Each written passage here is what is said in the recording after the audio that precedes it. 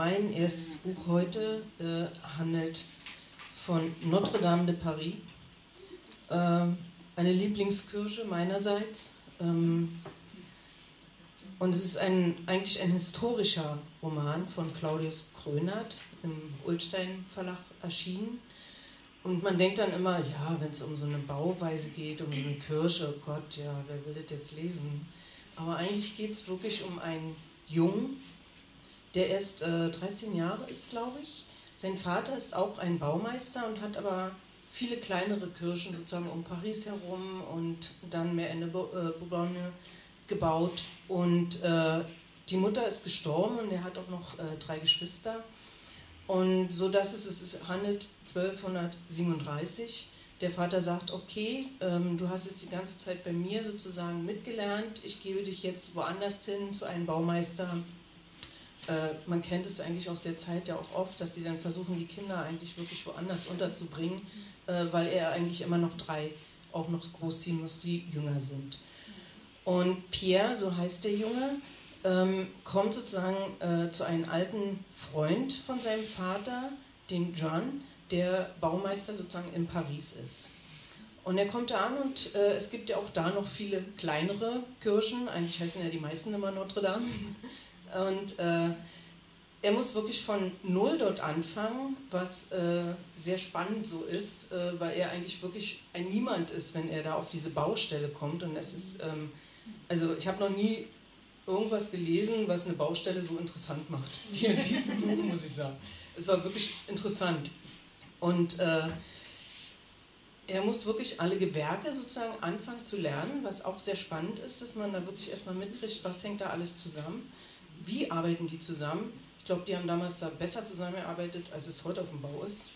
Ähm, also man kriegt Einblicke, die äh, sowas von interessant und mit einer ganz irren Sprache, mit einer wirklich so eine flüssig lesenden Sprache eigentlich geschrieben ist, äh, dass man gar nicht denkt, äh, könnte es jetzt mal langweilig werden? Nee, man wartet eigentlich immer, was passiert denn jetzt? Wo kommt er denn jetzt hin?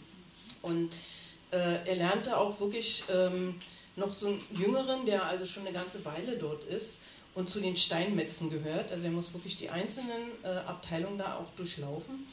Äh, es wird sein Freund.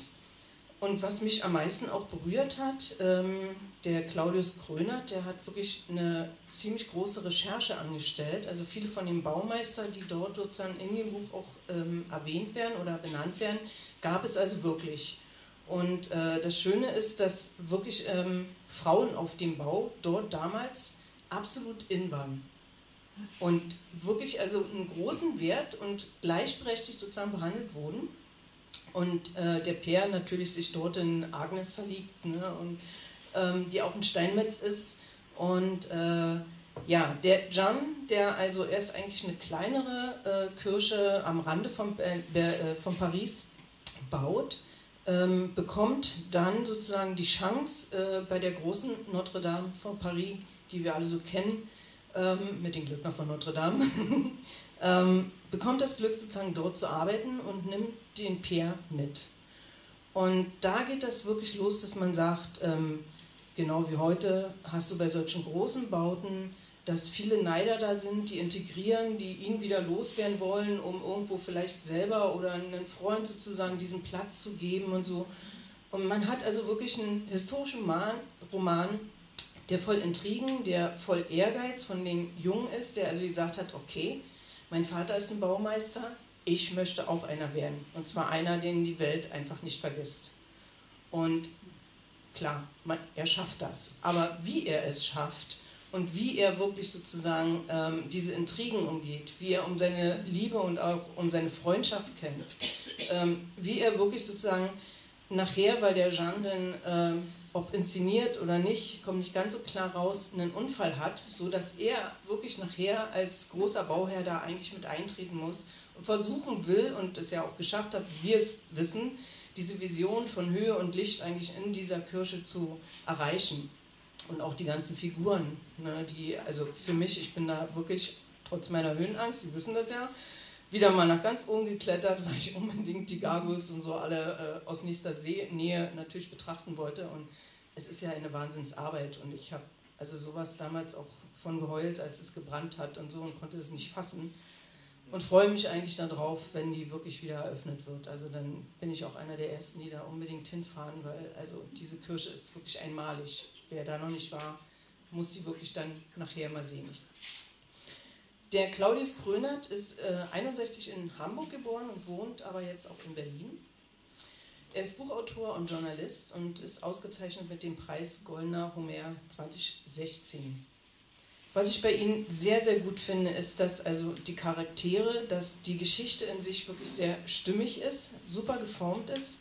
Und beim Lesen kann man sich wirklich sozusagen reinversetzen in diese Zeit damals, was ja für uns so mit unserer ganzen Technik und sonst überhaupt gar nicht so einfach ist. Aber es macht wirklich einfach Spaß, so diese einzelnen Begebenheiten, ob es die Familien, die Freunde, die Bauweise und sowas betrifft, einfach so reinzuschlittern und da sozusagen mitzuleben und mitzubauen. Und das ist eigentlich auch das Schöne. Eigentlich ist man, hat man nachher ein bisschen diese Notre Dame mitgebaut. Und das ist einfach wirklich äh, hervorragend.